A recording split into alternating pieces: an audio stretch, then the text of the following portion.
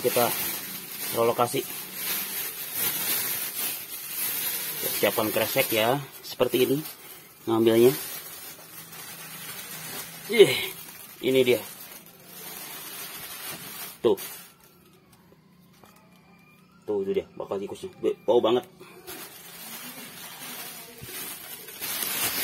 Yeah.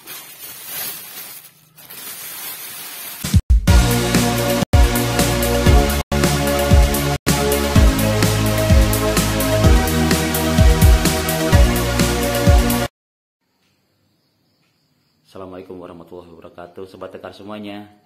Wah Di video kali ini Sudah memperlihatkan ya. Sekarang pukul 6 lewat 30an ya Sobat Tekar semuanya. Ini pagi. Nih Suasana di luar ya Pagi. Jadi Sobat Tekar semuanya Ini berbagi cerita ya. Jadi vlog kita hari ini Aduh ternyata kalau di rumah itu Selalu ada saja hal-hal yang tidak terduga. Oke jadi apa hari ini masalahnya? Oke, sobat tegas semuanya. Sekarang kita buka kamar mandi ya. Hmm. Dari tadi malam ini sobat tegas semuanya, baunya sudah gak tahan ini. Jadi sobat tegas semuanya, di atas sepertinya ada bangkai tikus. Dan karena sudah tidak tahan, mau gak mau ya, kita harus relokasi bangkai tikusnya, harus kita buang. Jadi bagaimana solusinya? Mau gak mau kita harus naik ke atas plafon itu ya. Dan ini lokasinya letaknya itu di ujung ya. Di kamar mandi ini tuh sampai ada tanda seperti itu itu bekas dari bangkainya mungkin ya sobat tekar semuanya. Maka kita harus nyari ya. Nyari ke atas sana di atas plafon itu.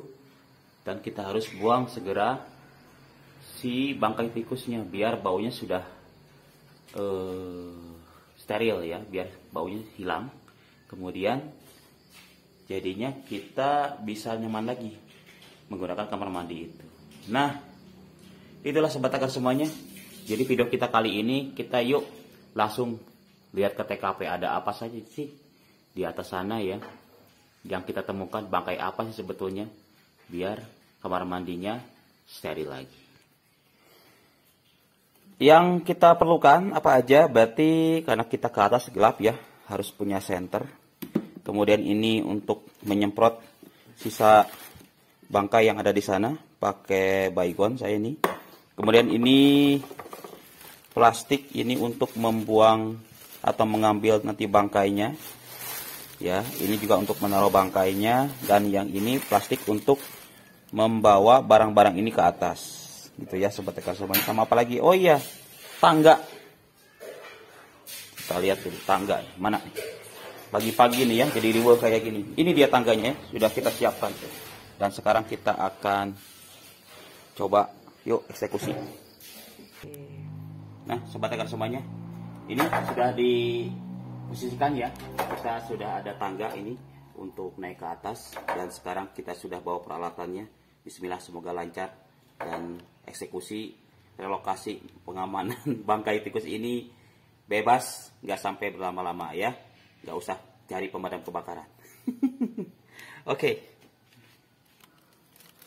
Bismillah.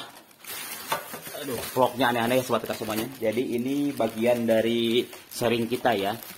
Biar kalau yang berumah tangga itu juga belajar bahwa hal-hal yang tidak diprediksi ternyata kejadian. Untungnya kita memang ada space ini untuk naik ke atas plafon ini sehingga tidak begitu sulit. Hanya saja tadi posisi bangkainya itu ada di pojok sana ya. Mudah-mudahan tidak begitu sulit juga nanti untuk mengambil bangkainya. Dikit lagi kita naik, kita taruh dulu perlengkapannya, alat perangnya nih. Ho, bismillah. Wah. Oke. Okay. Sobat tekar semuanya kita sudah sampai di atas. Wah ini harus hati-hati ya. Bismillah. Jangan lupa Bismillah dulu. Oke. kita berjalan ke arah lokasi bau bangkai nah jadi posisinya sobat tekar semuanya ada di sebelah sana. Tuh di sana ya. Lumayan susah ini untuk berjalan ke sananya. Tapi kita coba ya. Bismillah. Huh. maaf nih kalau kameranya goyang-goyang. Aduh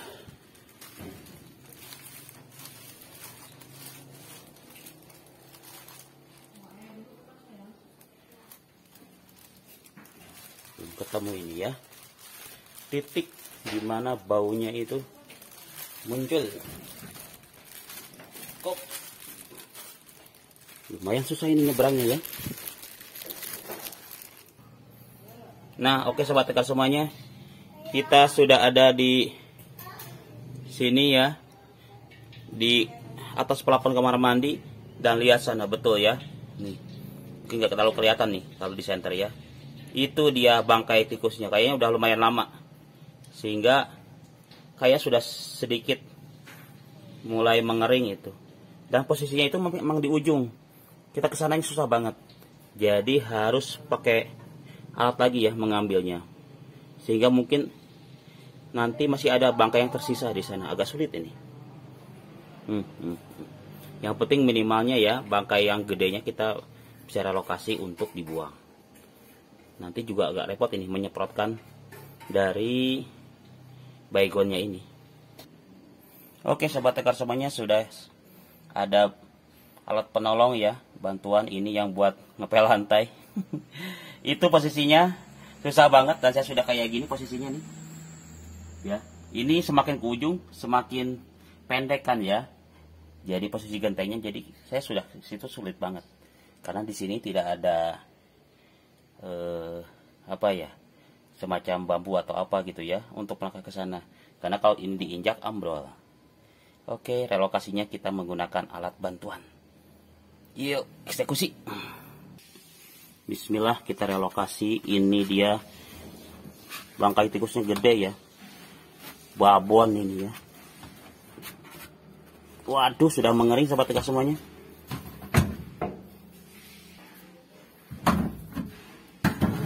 jadi kita copot dulu yang buat ngepelnya. Uh uh itu dia.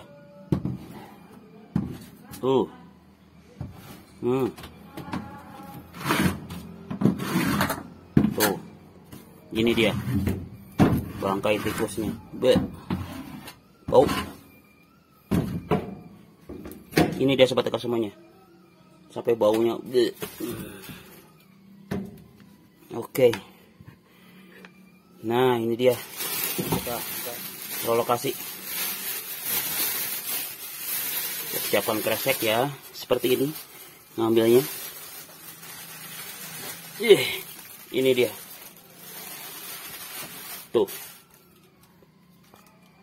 Tuh, itu dia, bakal tikusnya. Bau banget. Yeah.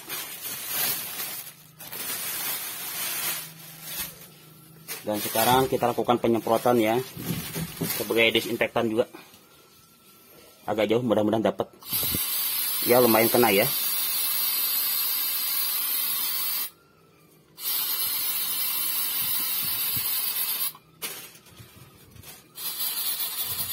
Mudah-mudahan nanti tidak begitu lama jadi bau di apa di kamar mandi bisa steril lagi Oke. Okay. Aduh, sekarang saya tinggal cari posisi bagaimana untuk kembali ke sana dengan mudah. Woi. Alhamdulillah sobat tekar semuanya. Aduh. Sudah bisa kembali lagi ke sini ya. Tadi asalnya dari sana. Oke, sekarang tinggal turun. Yuk. Kita turun. Dia kita turun ya sobat tekar semuanya. Jadi evakuasi bangkai tikus memerlukan waktu lebih dari 15 menit ya karena posisinya itu repot di ujung. Oops. Oke, ini dia. Kita turun lewat tangga ya.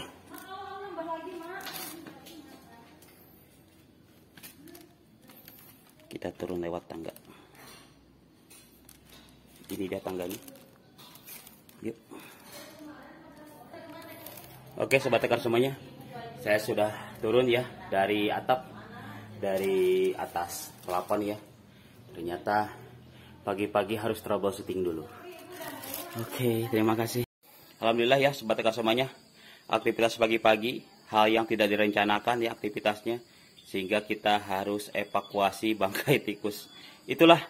Jadi berbagi hari ini vlognya adalah kita harus selalu siap untuk troubleshooting kalau di rumah ya sobat tekan semuanya karena tiba-tiba ada saja hal-hal yang tidak kita harapkan eh, terjadi gitu ya. Misalnya tiba-tiba kita pagi-pagi mau mandi airnya nggak nyala mesin airnya ataupun dan sebagainya dan ternyata yang saya alami adalah tiba-tiba bau bangkai tikus.